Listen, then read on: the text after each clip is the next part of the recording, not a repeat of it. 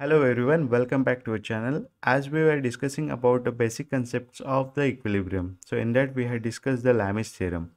So based on the Lami's theorem, there will be one question for 5 marks or 8 marks to find the weights attached with the string.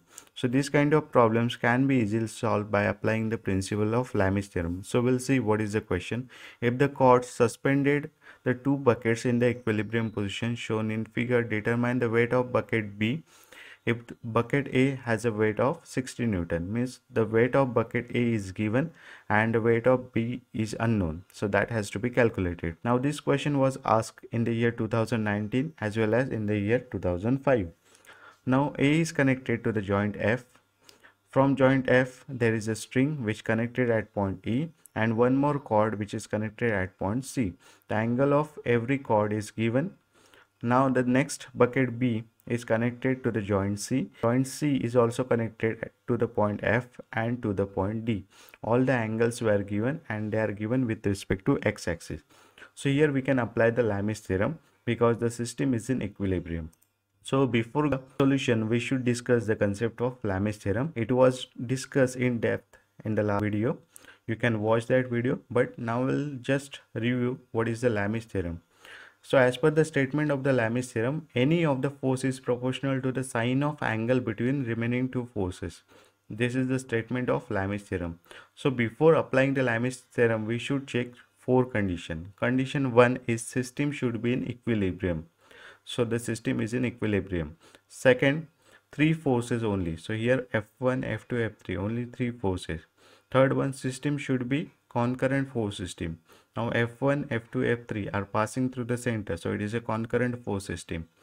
Fourth point is all should have the same direction. All the forces are pointed in the outward direction. So it satisfies the conditions for the Lami's theorem. So here we can apply the Lami's theorem. So F1 is proportional to the angle between F2 and F3 that is theta 1. So F1 divided by sine of theta 1. F2 is proportional to the angle between f1 and f3 that is theta 2 so f2 divided by sine of theta 2 and f3 is proportional to the sine of angle between f1 and f2 that is theta 3 so f3 divided by sine of theta 3 so in this way we can apply the Lami's theorem for the three concurrent force system. Now we'll see the actual figure given in the question paper. So here we consider point f or joint f and joint c. So we'll start with the free body diagram. So start here. First show the weight. Weight always act in the vertically downward direction. So this is the weight attached with A. So we'll show it weight of A is equal to 60 Newton. The value is given. Now this F joint is connected with the joint E. Here we will cut this cable at the center. Same we'll cut and we'll separate out this joint F from the rest of the figure. So here we can observe the tension in the cable FE as well as FC. So as per the notation we can write the name of this tension is equal to tension FE and here FC. What is the direction of the tension? Tension always act in the outward direction that is away from the center. So show the proper direction. So here we have got the joint F and the tension FE is shown here. Now what is the angle of tension FE with the horizontal 40 degree. The next tension is tension FC and the angle of tension FC is 20 degree. So in this way we have got one concurrent system formed by three forces. Now we'll go to the next joint. I'll show the tension CF. So this is the tension CF here and angle of tension CF is 20 degree. This is the joint C here. So here we will cut this cable also to form two forces. Then weight force is shown here. The weight force is equal to weight of this bucket B.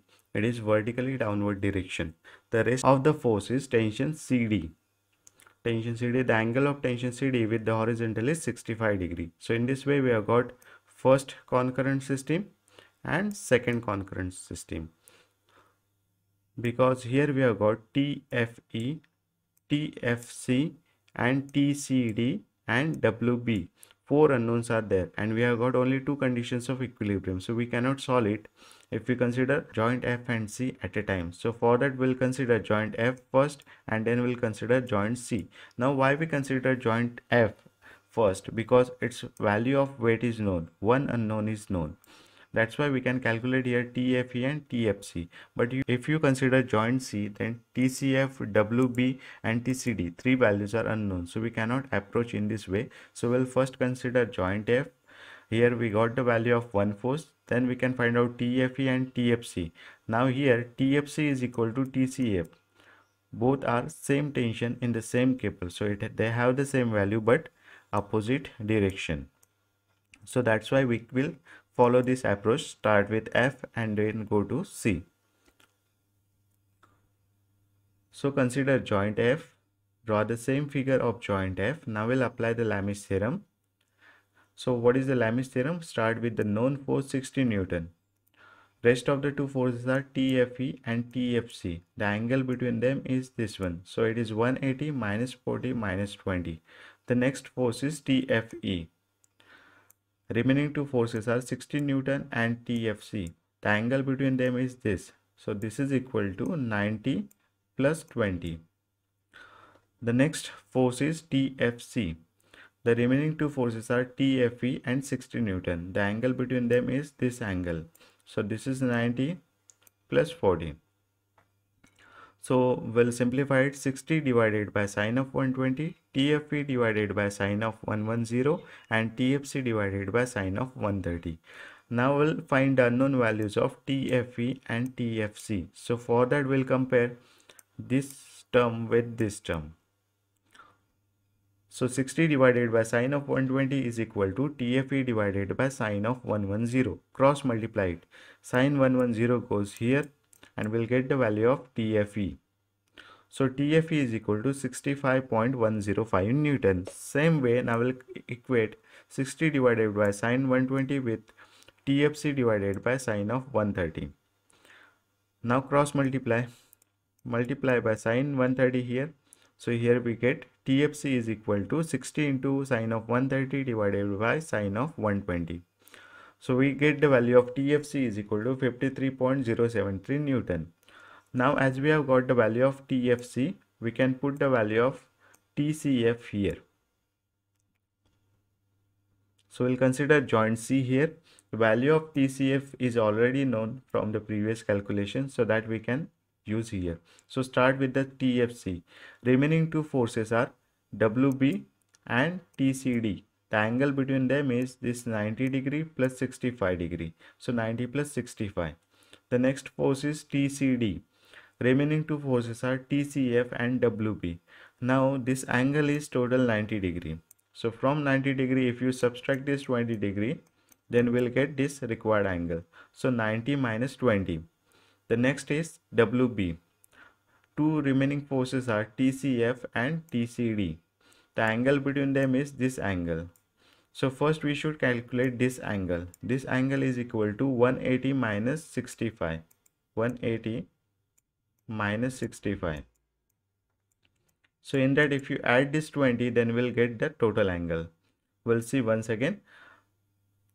Against WB two forces are TCD and TCF. The angle between them is this angle and this is not a 90 degree angle so this angle will be 180 minus 65 plus additional 20 degree. So again we'll simplify this equation. The value of TCF is 53.073 divided by sine of 155 it is equal to TCD divided by sine 70 is equal to WB divided by sine 135 now to calculate the value of TCD we'll equate this term with this term Now the sine 70 will get multiplied in the numerator to get the value of TCD. So TCD is equal to 53.073 into sine 70 divided by sine 155. So here we get the value of TCD is equal to 118.008 Newton. To find the value of WB, we'll equate this term with this term so 53.073 divided by sine 155 is equal to WB divided by sine 135.